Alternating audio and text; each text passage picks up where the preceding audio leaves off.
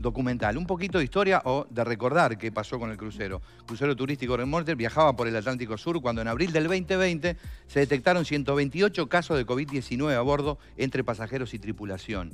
Eh, en Chile y Argentina le negaron eh, eh, la entrada al puerto y Uruguay dijo que sí. Sobre esto vamos a estar hablando y sobre este documental recibimos a Pablo Márquez, productor, y a Federico Lemos, su realizador. Bienvenidos, ¿cómo andan? ¿Cómo andan? Gracias, bien? ¿Todo bien? Gracias por la invitación. Por favor. Bueno, preguntar cómo surge esta, esta película en realidad es, es obvio que porque fue un hecho impresionante que además el mundo entero estaba mirando Uruguay, pero ¿cómo fue el encare y desde qué punto de vista se decidió contar esta historia?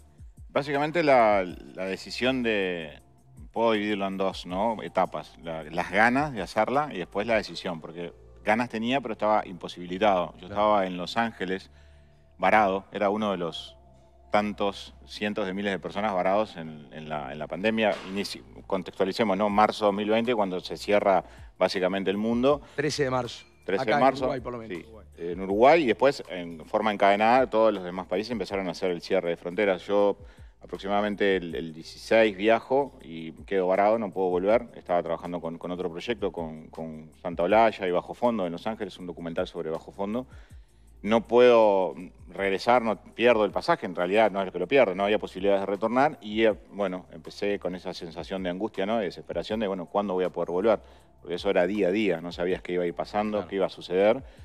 Y, y bueno, y a la espera de un vuelo de repatriación y un poco viendo cuándo podía volver, comienza a surgir la noticia de Greg Mortimer. Ahí inmediatamente, me- con lo que yo estaba viviendo, Claro. traspolado también a esa situación, no pude evitar sentir un poco de bueno, empatía, ¿no? Que sentimos Claro. todos, decir, qué horrible, qué desesperante que se está ahí adentro y qué historia para contar. Claro, ahí Pero- te baja la ficha de decir, esto es una historia, una buena historia para contar. Claro, por eso te decía que primero era un poco las ganas, y, pero también era imposible porque estaba allá. Y bueno, ¿cómo, qué desesperación para volver, obviamente, volver porque quería estar mi- con mi familia, en mi casa, pero también qué desesperación de poder estar para empezar a filmar. Agarrar una ¿no? cámara y a filmar. Es que esa era un poco este, la, la situación. Después de unos días puedo volver y puedo retornar y ahí comienza efectivamente el proceso de filmación del proyecto que se da en tiempo real, ¿no? Porque filmamos todo el proceso en tiempo real.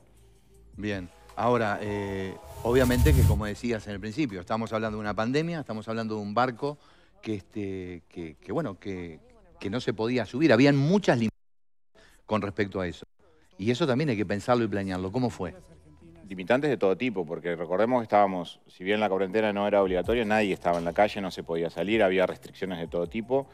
eh, y para nosotros era muy difícil porque además el equipo técnico, la gente con la cual yo convoqué a participar, me decía, estás loco, o sea, ¿cómo? Era un riesgo Claro. grande. No te dejan salir de la casa y tenemos que salir a hacer un documental. Había cuatro casos en Uruguay en ese momento, Claro. dos casos. Pero había mucho casos. miedo Pero había mucho miedo, mucho miedo que digo, con el paso del tiempo, bueno, eso es- eh, trascendió, ¿no? Sí, Pasó. Además, la película Claro. exigía, no solamente en ese momento, sino después trasladarse, ¿no? Porque los, los pasajeros, eh, luego que Uruguay hace la estrategia correcta y vuelven a su país, los, ten- los tuvimos que ir a buscar para tener su testimonio. Claro. Entonces, además de eso, hubo que viajar a muchas partes del mundo, en un momento donde no se podía viajar, en un momento donde no conseguías un vuelo o donde muchos lugares todavía estaban cerrados. Que era una decisión de producción que con, con Pablo conversamos porque decíamos, bueno, ¿cómo vamos a contar esta historia? Muchas de las preguntas que nos hacían era, ¿qué vas a contar de nuevo Claro. que no se haya mostrado? Porque recuerdan, ustedes fueron parte del, del, digamos, del proceso informativo, móviles todos los días, noticias todos los días. Se habló un mes entero, casi todos los días, del tema Greg Mortimer, repatriación de... Entonces, lo, lo que pasa que lo que se mostró fue hasta que los pasajeros del Greg Mortimer llegaron al aeropuerto y viajaron a su país de origen. claro. Hasta ahí por lo menos Como en lo que mucho, vimos. alguna carta, alguna Sí. publicación en redes, de video. agradecimiento. Sí, sí, lo primero fue que casi no- como un reality, Claro. ¿no? Durante Sí. un tiempo, porque Claro. en tiempo real iban viendo, llega, cuándo se van, qué hacen, qué lo... Y ahí, este, me acuerdo Fede, este, cuando, cuando me invita al proyecto, porque es una idea de Fede, y en un momento Fede me, vamos a tomar un café, en aquel momento en alguno de los pocos lugares que se podía tomar un café, ¿no? Y, y- y empieza a contar y dice, hay historias increíbles, hay historias de pasajeros increíbles, hay historias entre la tripulación y el capitán increíbles. Lo que vimos nosotros es una parte de la historia, no vimos la otra parte de la historia. El adentro del barco. El adentro del barco, lo que vive la, la gente que se quería tirar en algún momento, eh, motines a bordo, problemas de todo tipo. Sí, claro. Entonces ahí empieza... Sí, una a- situación extrema, ¿no? Con todo lo que eso absolutamente, significa. absolutamente. Extrema. Sí, sí, bueno, si fue extrema eh, cada uno con su familia en tu casa y en tu lugar, imagínate esa situación. Y sí, imagínate vos también en un barco en ese momento, que el barco, no quiero spoilear la película, pero digo, lo cuenta muy bien la película esa parte, pero este, el barco sale y todos en- en- estaban en, un, lu- en, en el mejor lugar del mundo, en un barco aislado, porque en lo- el continente todos estaban infectados. Claro. Y se enteran que se empieza a infectar uno, y uno, y cinco, y diez, y quince. Fueron más de y 100 al final. ¿no? Y al Eh, final era casi, podía ser este, 70% de la... una- un, claro. un- un- un barco lleno de muertos. Eh, Sí, sí, sí. eh, Sí, con y todo vos preguntabas pasando dónde podés entrar, y acá Claro. no, y acá no, No, no, y acá sin tampoco, y acá tampoco. Sin las asistencias en ese momento. Por supuesto, eh, es muy importante en la película el, el- el- el médico, por ejemplo, ¿no? Cómo el médico cuenta los detalles de, de- de- de- de una infinidad de cosas, cómo las personas cuentan y muchos se sintieron morir. Claro. Dijeron, bueno, está, los mensajes de los la de, familia. de las familias. Bueno, hay, hay- hay ahí un, un- un lugar muy rico donde Fede... Y Fede, ¿a vos qué fue lo que más te impactó? ¿Qué fue lo que más te sorprendió? Más allá que ya sabías que te estabas metiendo en un lugar donde ibas a encontrar historias fuertes, pero ¿qué fue lo más movilizador? Bueno, yo creo que el contrapunto de lo que está, las historias, donde básicamente nos centramos a lo largo de la historia, del, relato, eh, y en contrapunto la posición de la compañía y el capitán, ¿no? Ese enfrentamiento duro que hubo, este, en donde decisiones que son difíciles de entender, que se tomaron de, de alguna manera, no- como decía Pablo, sin spoilear la película, pero decisiones y grabaciones y filmaciones que muestran una posición que a veces hoy cuesta entender ¿Qué decís? No humana, capaz. quizás sí, este, muy, muy cuestionables, que básicamente ponen sobre la mesa, es- digamos, las conductas del ser humano en situaciones límites, ¿no? ¿Cómo pueden tomarse estas, esas decisiones? Las consecuencias también, y el impacto, uno de los impactos más fuertes también fue encontrarme con toda esta gente en muchas partes del mundo, las secuelas. Por ejemplo, entrevistas que a mí habitualmente me llevan 45 minutos, una hora, tuve que estar tres horas Claro. en Australia, por ejemplo, para poder este, esperar que se recompusieran, que pedían un tiempo, se iban, caminaban, volvían. O sea, es, es un hecho muy traumático que generó en muchos de los pasajeros este, y tripulantes secuelas. Y además hay todo un contexto judicial, porque hay, juicios cruzados entre toda la compañía, la compañía naviera, el capitán, los tripulantes, que todavía eso está en proceso. Se hizo un seguimiento también de eso y, y- y tratamos de- también de contemplarlo. ¿Cómo fue hacerse de todo el material de las cosas que sucedieron adentro del barco? ¿Colaboraron mucho los pasajeros entregando material en ese sentido? Era una de las cosas que nos, nos preocupábamos. En ese momento eh, con Pablo conversamos eh, de cómo estructurar los tres, Claro. las tres pilares de la película, ¿no? La parte testimonial, que es muy importante, pero no el testimonio cercano de la gente, digamos, acá en Uruguay, sino también este, los protagonistas de la historia, del rescate del operativo, pero también los tripulantes y pasajeros. La parte audiovisual filmada dentro del barco, porque todos con sus celulares claro. filmaron absolutamente todo. Entonces, recopilar ese material, procesarlo y, y- y- y de alguna manera reconstruir la historia.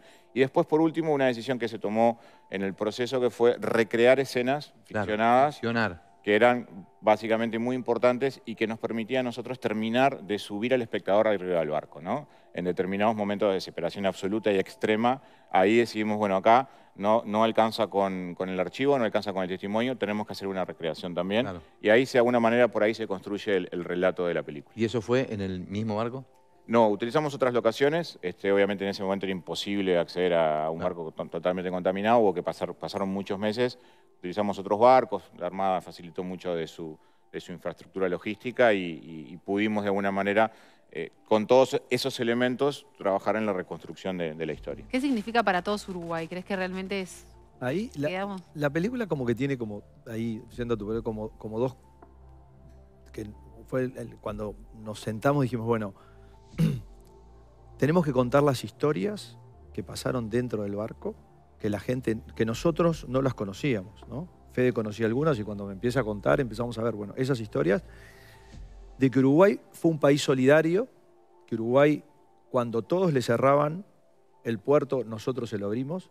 Pero otra cosa importante también, como uruguayos, es que lo hicimos bien.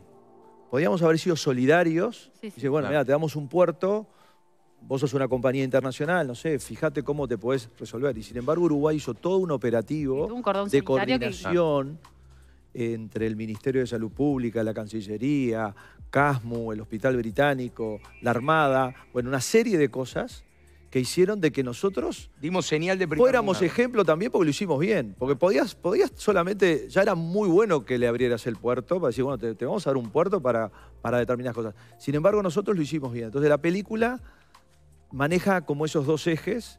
También esta película va a salir a nivel internacional. Esta película se va, se va a emitir no solo en los cines, que ya está en los cines, y por suerte este, con, con algunas funciones ya agotadas, sino que va a tener una recorrida por todo el país a través del cine itinerante. Queremos que lo vea todo Claro. el Uruguay, la película. Y bueno, y después saldría el circuito del exterior. ¿Y qué pasa justamente con los protagonistas? ¿La vieron ya? Los protagonistas no la vieron todavía, están desesperados y de alguna manera también me- a cada rato, aparte de los horarios cruzados, ¿no? A veces son las 4 de la mañana y me suena el teléfono y me están escribiendo de Australia, me mandaste el link, mandaste la película o de, o de Colombia, el médico o Filipinas, donde hay familiares. Eh, Estamos todavía esperando básicamente que el- el- se genere la función de avant premier con todos los protagonistas de Uruguay, ¿no? Que queremos que la vean en el marco adecuado. ¿Va Ernesto Talvi?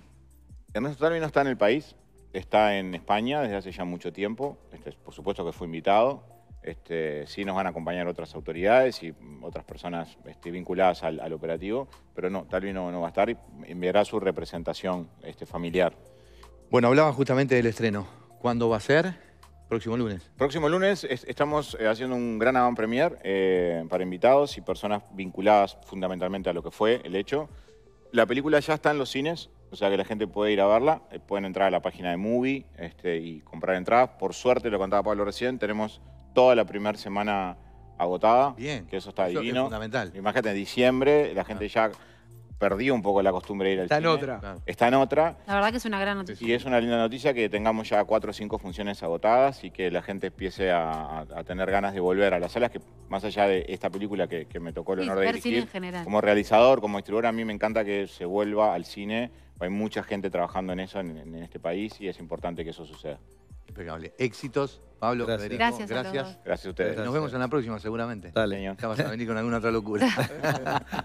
Maravilloso, gracias, ¿eh? Gracias. a. Nos vamos a la pausa, ya venimos con más desayuno. Se viene Marama, ¿eh? ¡Opa!